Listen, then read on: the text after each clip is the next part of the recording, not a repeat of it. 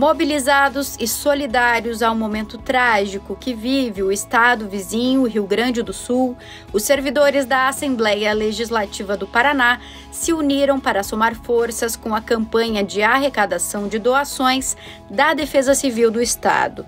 A Assembleia serviu de ponto de coleta. Foi possível arrecadar muitos itens de higiene, produtos de limpeza, água, alimentos e roupas.